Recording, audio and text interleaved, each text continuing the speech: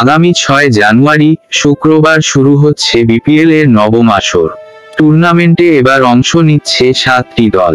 Chattogram Challengers Sylhet Strikers Comilla Victorians Rangpur Riders Dhaka Dominators Khulna Tigers O Fortune Barishal.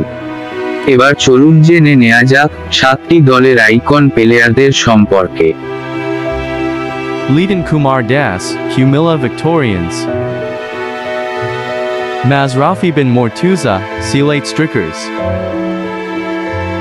Shoaib Malik, Rangpur Riders. Shakib Al Hasan, Fortune Barishal. Taskin Ahmed, Dhaka Dominators.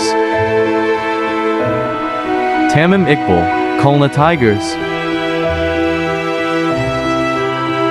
Afif Hossain, Chittagong Challengers.